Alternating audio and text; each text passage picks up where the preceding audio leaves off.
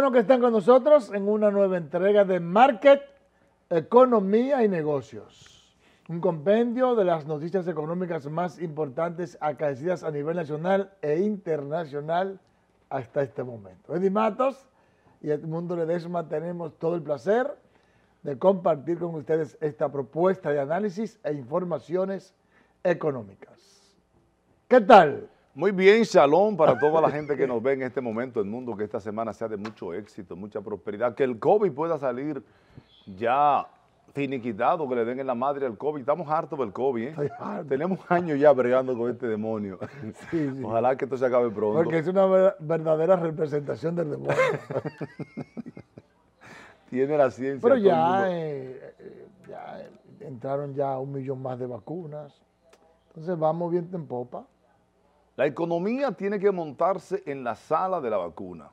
Inmediatamente le demos la madre, la gente se vacuna, entonces, como un proyectil empezará la economía de nuevo a crecer como crecía antes, pero que ahora sea mejor redistribuida, ¿verdad, mundo? Especialmente que los países como Estados Unidos, aunque no se han portado bien con nosotros con el tema de la vacuna, han sido poco solidarios. Increíblemente, tanto China como la India y Rusia han sido más solidarios que Estados Unidos.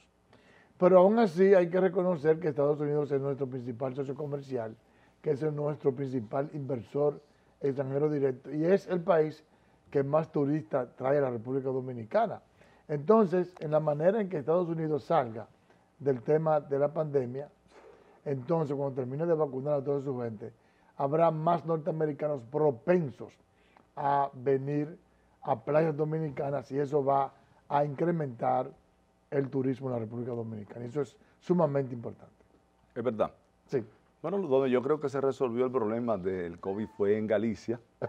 se encuentran dos gallegos y uno le dice, mire, tengo un problema conmigo, ese hijo mío es demasiado bruto. Y el otro le dice, no, el mío es mucho más bruto. Le dice, ¿tú quieres ver lo bruto que es mi hijo? Dice, sí. Y le dice, hijo, ve a ver si yo estoy en mi casa. El carajito sale corriendo. El otro le dice, no, pero eso no es nada, el mío es más bruto, atiende. Le da 10 pesos y le dice, ve a comprarme un televisor a color. Cuando salen se encuentra a los carajitos el otro uno le dice, mira, ellos creen que los brutos somos nosotros y yo soy más bruto que nosotros. Tú ves mi papá, me dijo que viniera a la casa, de que a veces él estaba, pero no me dio la llave. y el otro le dice, no, pero el mío es peor. Me dio los 10 pesos para comprar el televisor a color y no me dijo de qué color era. Eso sí resolvieron la vaina del COVID. El Banco Central de la República Dominicana informó que en los primeros dos meses del año 2021 las remesas aumentaron 31.3% al registrar un monto de 1.553.8 millones de dólares, cifra que supera en 370.7 millones de dólares a las recibidas en el mismo periodo, pero del año 2020. Precisó que en enero registró un crecimiento interanual de 206 millones de dólares, un 35.1%, alcanzando unos 792.8 millones de dólares, mientras que en febrero sumó 761 millones de dólares para un aumento de 27.6% equivalente a 164.7 millones adicionales. Sostuvo el Banco Central que la continua recuperación de las condiciones económicas de Estados Unidos, país de donde provino el 84.6% de los flujos de febrero, sigue siendo el principal factor que ha incidido en el comportamiento de las remesas hacia República Dominicana. El plan consiste en un paquete de estímulo de 1.9 billones de asistencia adicional para los individuos, pequeñas empresas y gobiernos locales y estatales, y tiene como propósito incrementar las transferencias directas a las personas desde 600 hasta 2 mil dólares, que no caen mal. Este plan de rescate firmado por Biden el 11 de marzo aumentará el flujo de remesas del país este año, así como la recuperación del sector turismo. El mundo, ¿verdad? Que ese país, Estados Unidos tiene cuarto, ¿eh? Oye, ¿Eh? qué daco. Mira, eh, esa, esa información es sumamente importante.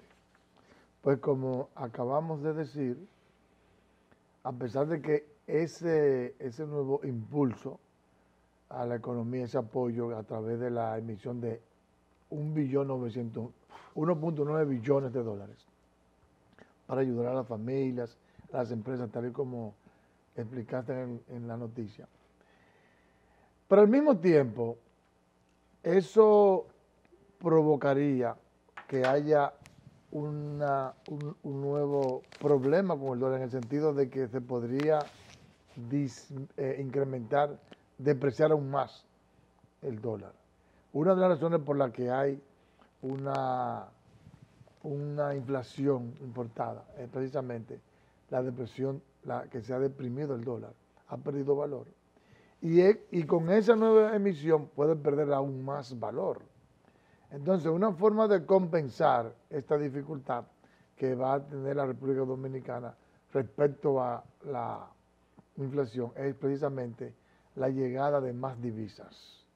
Eso al tener, al fortalecerse las reservas internacionales y al haber una relativa abundancia de divisas, entonces eso va a mantener más o menos estable los precios de las divisas. Porque eh, como el turismo está deprimido, está paralizado y todavía no se puede asegurar que para este año las cosas van a cambiar. Entonces, es un paliativo el tema de las remesas. Aunque, perdón, dijo el ministro de Turismo este fin de semana que se cree que en este mes de marzo van a llegar 200 mil turistas. Llegaron casi 200 mil el mes pasado. Es decir, que a pesar de la crisis, de que la gente no quiere salir de sus países, pero tú sabes que la República Dominicana es un turismo muy apetecido, donde hay mucha calidez en el dominicano, y eso de verdad que me alegró mucho de saber que aunque no es en la dimensión que estamos acostumbrados a que vendieran ya 6 millones en un año de turistas, pero por lo menos el mundo, para mí que ese ha sido un aliento de que se están haciendo a nivel internacional las promociones del lugar para lograr que la industria sin chimenea, una de las principales fuentes de sostenimiento de la economía, pueda irse recuperando lentamente. Bueno, pero 200 mil te da promedio que llegarán al año unos 1.400.000, muy por debajo de lo que generalmente llega, ya tú acabas de decir, que más de 5 millones.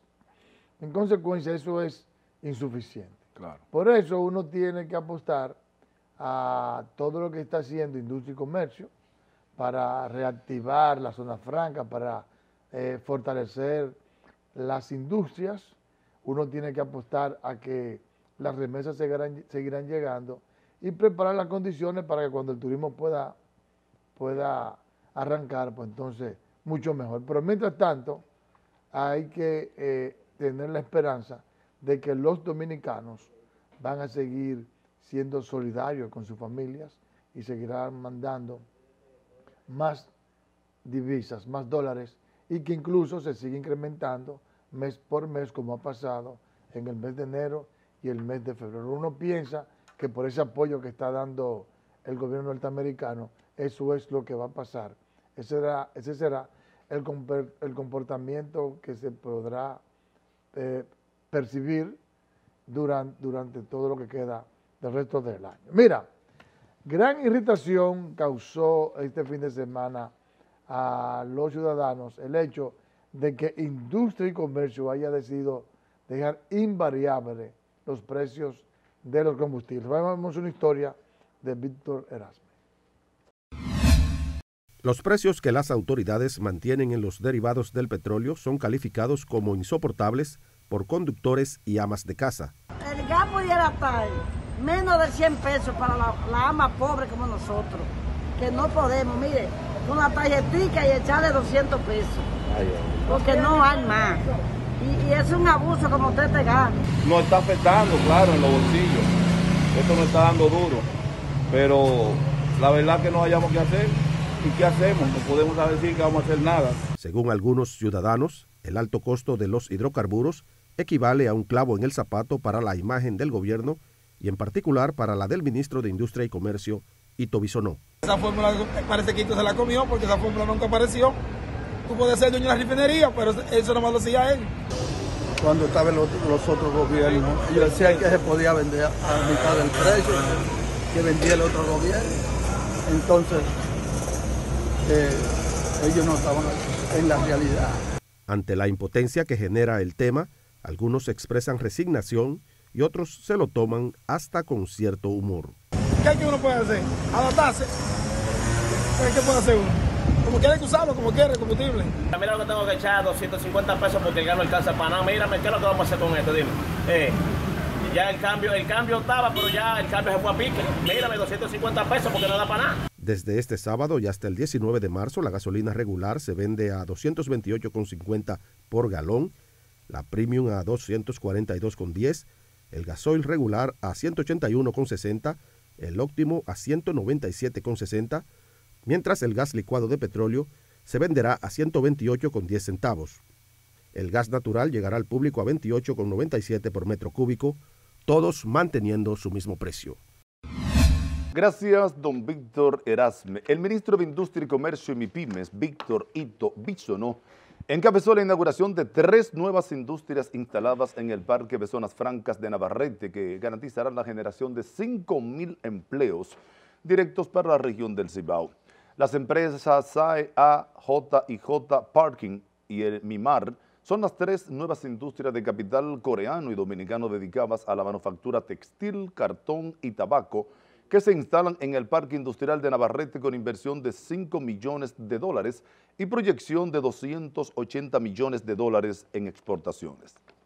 El presidente ha dado instrucciones claras a todos sus ministros y en lo que nos toca a nosotros del Ministerio de Industria y Comercio de acompañar todo aquello que sea la creación de empleo, la garantía de esa inversión y lo que lleve como aporte a que haya una estabilidad económica, social, para que la República Dominicana vaya con el crecimiento que hoy tiene la oportunidad de, brindarle. La zona franca es el principal sector de generación de empleos y el de mayor recuperación en medio de la pandemia del COVID, convirtiéndose en el principal aliado hacia la meta de crear 600 mil nuevos empleos. El embajador de Francia en el país, Eris Fournier, destacó el potencial económico del puerto de Manzanillo en la bahía de Montecristi como eje esencial para el desarrollo económico y social de la región noroeste de la República Dominicana. De su parte, Jean Alain Rodríguez, director de Autoridad Portuaria, aseguró que el puerto de Manzanillo es uno de los proyectos más importantes del gobierno para fomentar y desarrollar las empresas que hacen vida en el puerto. Yo quiero decir una cosa muy simple. Eh, después de cuatro días en la región, yo pienso que el potencial de desarrollo es enorme, muy importante. Y con el puerto, eh, me parece que la, capacidad de, la República Dominicana devenir, como dit, devenir de, de, de, ser una economía más importante es bastante eh, claro.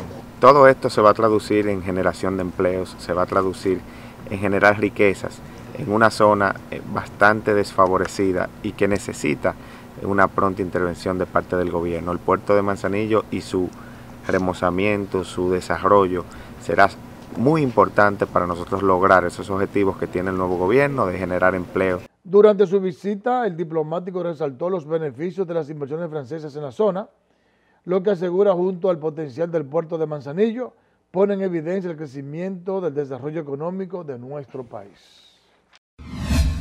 Ante las críticas que generó sus revelaciones de que incrementó la nómina de la Superintendencia de Seguros de 22 a 26 millones de pesos, la titular de la institución Josefa Castillo aclaró que el aumento se debió a la creación de áreas requeridas por el sector asegurador y que su carencia mantenía a esa entidad en un nivel de atraso. Destacó además que ha logrado un ahorro mensual de 4 millones de pesos por concepto de los materiales y suministros, así como también de los combustibles. Explicó que el incremento del personal abarcó las áreas técnicas de supervisión, tecnología, lavado de activos, las creaciones de la Escuela de Formación en Seguros en FOSIS y el Centro de Atención al Usuario, las cuales son necesarias para un mejor desenvolvimiento institucional y una correcta supervisión y modernización de la Superintendencia de Seguros del país. Castillo indicó que eso ha traído como beneficio las valoraciones obtenidas de un 95% en transparencia, un 98.9% en compras y contrataciones y un 100% en el correcto manejo presupuestario. Resaltó Josefa que desde que asumió la gestión en agosto del año 2020 hubo un incremento de 36.906.690 de las primas por parte de las aseguradoras, lo que puede atribuirse parcialmente al aumento de la confianza de los usuarios del seguro como resultado del notable cambio que ha iniciado la Superintendencia de Seguros y el gobierno de Luis Abinader en general. Mira, Eddie, no cabe duda que por lo que se explica ahora, eh, Josefa Castillo no supo explicar qué fue lo que se hizo en, o qué es lo que se ha hecho en la Superintendencia de Seguros. Evidentemente que ella ha sacado PLDistas que no son técnicos especializados y que no son empleados de carrera. Porque si hubiese hecho eso, evidentemente que los resultados que ella presenta ahora no hubiesen sido iguales. Posiblemente hubiese una debacle. Pero la verdad es que escuchar que ahí no había un área de, supervisión, de tecnología, de lavado de activos, que no, había, no se había creado la escuela de formación de seguros y que no había un centro de atención al usuario, es una barbaridad. Yo no sé qué estaba haciendo el pasado administrador de, de esa entidad, pero la superintendencia de banco, la superintendencia de seguro, la superintendencia de valores, la superintendencia de, pensiones, todas las superintendencias obligatoriamente tienen que tener departamentos sofisticados en supervisión, en tecnología, en lavado de activos y obligatoriamente tienen que tener un, tienen que tener un centro de atención al usuario, que es como usuario en la superintendencia de banco o la superintendencia de electricidad en, en la parte de energía. Sofisticado. Y que no existiera eso, te dice de que, ¿qué es lo que se estaba haciendo ahí? No entiendo. Pero, si tú me dices a mí que ella aumentó el personal, fue básicamente por estos, porque se, se abrieron estos nuevos departamentos y que incluso se ha, se ha ahorrado mensualmente 4 millones de pesos, por los conceptos que ella mencionó, yo tengo que interpretar que las cosas se han hecho más o menos bien. Yo considero, mundo, nosotros lo hemos dicho innumerables ocasiones, que la esencia del desarrollo, del cambio, del progreso, tiene que fundamentarse en eso, en la tecnología. Ahora, hay que reconocer que el gobierno del presidente Leonel Fernández, 96-2000, el gobierno del presidente Fernández, del 2004 al 2012 y los gobiernos de Danilo Medina, casi en su generalidad, fueron gobiernos de mucha modernización. Miren en lo que se convirtió lo que es impuestos internos, lo que es el Ministerio de Hacienda. Aduanas. Aduanas. Decir, hay que reconocer la eso. La misma superintendencia de banco, la superintendencia, Ahora, la de seguro, que estaba Euclides Gutiérrez Félix, se quedó rezagada, no se puede negar. Entonces, a veces uno insiste aquí de que es bueno que haya cambio en las instituciones, que se meta gente joven para modernizar y la gente se ofende. Tiene que haber cambio, tiene que haber juventud. Por ejemplo, ¿quién puede negar que Josefa Castillo, independientemente de que no es una niña, es una mujer moderna? Como diputada, es decir, todo el que averigua su background en la Cámara de Diputados se da cuenta que es una mujer moderna, una mujer activa, una mujer que piensa en eso, en el futuro, en el desarrollo. Entonces, eh, bueno, yo estuve escuchando, el mundo mucha gente diciendo que, que todo ese maramagnum que se creó es realmente gente del mismo PRM que quieren esa posición. Es decir, por eso ella tuvo que defenderse así. Y eso no puede ser. Hay que evaluar a la gente por los resultados, qué está haciendo. Si eso que dice ahí es verdad y que se puede constatar, entonces yo creo que esta mujer merece el apoyo del presidente y de toda la colectividad, porque lo que tiene que ver con seguro en todos los países desarrollados es un área esencial en cualquier sociedad. Por ejemplo, aquí en República Dominicana son muy pocas las la viviendas que están aseguradas, aún de clase media. En los países desarrollados, para usted mudarse en una casa, tiene que estar asegurada. Yo pienso que hay que pensar en todo esto, porque a veces a la gente se le quema una casa y tiene que pensar, ah, no, que el gobierno, no, es un seguro que tiene que tener para cualquier, cualquier problema que venga, entonces que el seguro sea que resuelva. Vamos con el diccionario económico. Poder absoluto. autoridad total sobre todos los aspectos de un Estado o nación y sobre sus habitantes. El término suele utilizarse en referencia al poder de un monarca absoluto. Este gobernaba de forma absoluta debido al concepto de los derechos divinos de los reyes, según el cual derecho del gobernar del rey amenaba directamente al poder de Dios.